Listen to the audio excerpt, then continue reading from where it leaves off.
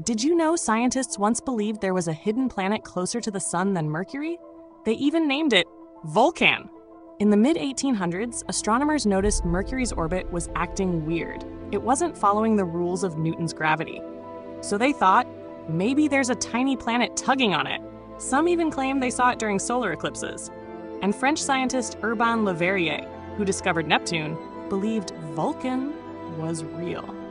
In 1915, Albert Einstein's general theory of relativity solved the mystery behind Mercury's unusual orbit by showing that the intense gravity of the Sun warps spacetime, causing Mercury's path to shift.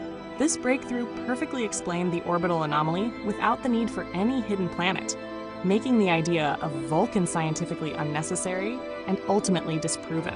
So, Vulcan?